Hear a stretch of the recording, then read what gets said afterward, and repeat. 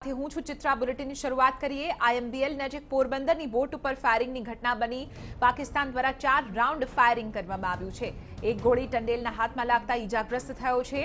boat ઉપર firing થતા માછીમારોમાં ભયનો માહોલ સર્જાયો છે ચાલુ મહિને પાકિસ્તાન મરીનની બીજી નાપાક હરકત છે આ દસ બોટો અપહરણ કર્યા બાદ હવે ભારતીય બોટ ઉપર ફાયરિંગની આ ઘટના પાકિસ્તાન મરીન તરફથી કરવામાં આવી છે જે બાદ આપણે જણાવી દઈએ કે માછીમારોમાં